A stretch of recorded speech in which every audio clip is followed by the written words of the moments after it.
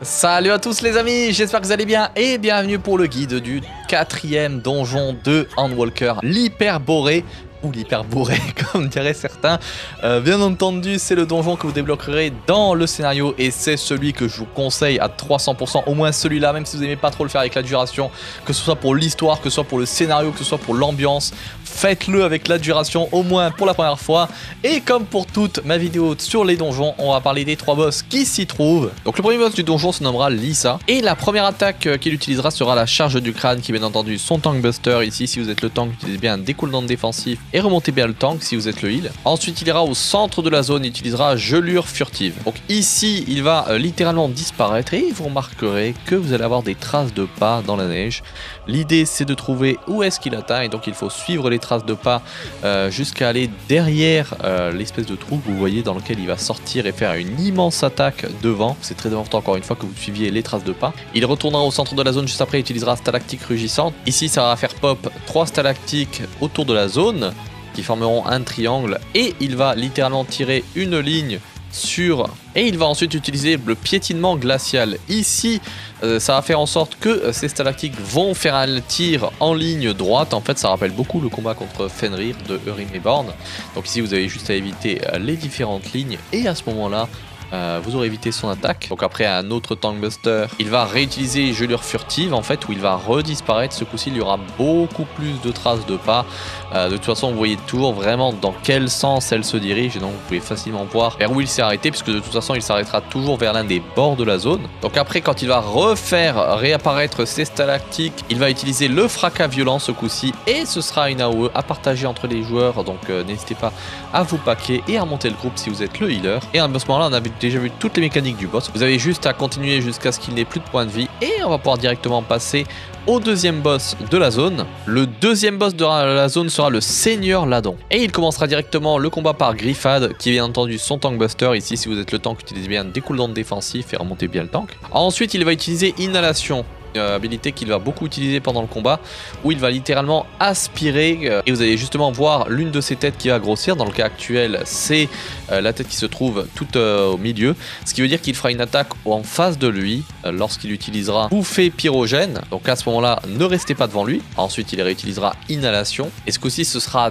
deux des têtes du serpent qui vont s'allumer, donc là comme c'est celle de droite et c'est celle de gauche, vous aurez forcément lors de son attaque une AOE à droite et une AOE à gauche, donc le top ici c'est d'aller devant le boss pour éviter euh, cette attaque là et donc il faudra vraiment toujours bien regarder ses têtes.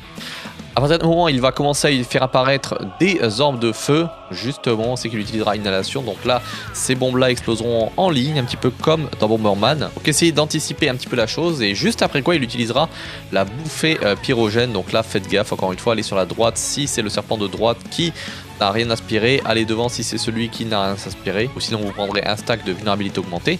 Il utilisera ensuite intimidation qui sera une AOE sur tout le monde, donc ici remontez bien le groupe et utilisez de la mitigation si vous en avez. Alors après lorsqu'il refera apparaître les bombes de Bomberman vous aurez juste après cette mécanique là pendant le souffle pyrogène une AOE à partager avec tout le groupe. Donc ici, paquez-vous bien une fois que les bombes ont explosé pour éviter l'attaque. Et on a déjà vu un petit peu toutes les mécaniques de ce deuxième boss de la zone. Vous avez juste à le mettre à 0 point de vie restant et on va pouvoir passer directement au troisième et dernier boss de la zone. Le dernier boss de la zone sera bien entendu Hermès qui commencera directement sa première mécanique Tris Megistos qui fera apparaître euh, non seulement donc toute une AOE autour de la zone et où on ne pourra pas marcher dedans, on risque de se prendre beaucoup de dégâts. Ensuite, il utilisera Hermetica. À ce moment-là, il va faire apparaître des genres de portails tout autour de la zone qui vont tirer une AOE en ligne. Donc c'est très important de regarder où est-ce qu'ils vont tirer. C'est très important de ne pas se trouver dans l'une des AOE parce que ça risque de vous pousser vers les bords de la zone. Et euh, donc regardez bien où il faut être pour éviter cette attaque-là. En tout cas, ce sont les mêmes zones safe pour absolument tout le monde. Ensuite, il utilisera Tornade Véritable qui sera le Tank Buster ici. Utilisez bien des cooldowns défensifs et euh, remontez bien le tank si vous êtes le heal. Juste après quoi, il utilisera Météore 4 euh, météores vont apparaître sur la zone. Ici, aller tout au milieu pour éviter de prendre trop de dégâts vu que ce sont des dégâts de proximité. Juste après quoi, il va utiliser double et ce sera suivi de Hermetica. Donc il va faire apparaître des euh, portails sur tout un bord de la zone et ensuite sur un autre bord de la zone. Vous pouvez voir que l'un des météores euh, n'est pas du tout endommagé. C'est celui derrière lequel il faudra se cacher. Une fois que la première attaque est passée, on se décale à 90 degrés pour éviter la seconde attaque. Et à ce moment-là, félicitations, bah, vous avez réussi cette mécanique. Il réutilisera double juste après et utilisera le vent véritable. Donc ici, ça va être des AOE en ligne à placer. Les AOE se déplaceront avec vous, donc faites gaffe de ne pas les paquer ensemble. Et juste après quoi, d'autres AOE vont apparaître là où les premières AOE ont été placées. Donc vous avez juste à les rééviter juste après. Courage véritable sera une habilité qu'il faudra interrompre si vous êtes le tank. Si ce n'est pas le cas, ça lui donnera un buff de dégâts augmentés. Donc c'est très important de l'interrompre.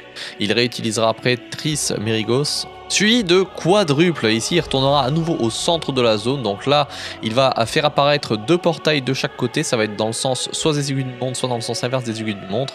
Ici vous allez là où le troisième portail est apparu, une fois que le premier est parti vous décalez un petit peu sur la droite, quand le deuxième est parti vous redécalez encore une fois sur la droite. Et à ce moment là félicitations vous avez évité euh, cette attaque là. Le boss ensuite utilisera double et ira au centre de la zone. Et il utilisera extra vent véritable, ici ça va nous donner une AOE individuelle sur chaque joueur, il laissera derrière elle encore une fois une deuxième AOE à éviter. Ensuite il réutilisera double suivi de tornade véritable, donc là c'est son tank buster. Et bien entendu il va faire à la fois une attaque mais une AOE va rester sous le tank et c'est très important de l'éviter parce que sinon ça fait énormément de dégâts comme vous pouvez le voir. Et à ce moment là vous avez vu absolument toutes les mécaniques du combat, vous avez juste à euh, continuer jusqu'à mettre ses points de vie à zéro et félicitations vous avez terminé le donjon de niveau 87, peut-être le plus beau donjon cette extension. Et voilà les amis, c'est tout pour le euh, quatrième donjon de l'extension Unwalker. Clairement mon préféré, je pense, le plus beau, enfin toute la zone de toute c'est vraiment ma partie préférée de l'extension. Ils ont fait un truc de fou à ce moment-là. Euh, c'était juste incroyable et j'espère que cette vidéo vous a fait plaisir et euh, bah, vous aidera à venir à bout de ce donjon-là. Si c'est le cas, n'hésitez pas à laisser un petit j'aime bien entendu et à vous abonner à la chaîne et activer la cloche pour ne pas manquer toutes les prochaines vidéos sur Unwalker. Je vous souhaite une bonne journée les amis et je vous dis à très bientôt. Ciao tout le monde Aïe Attends, sérieux On va un wife, je crois.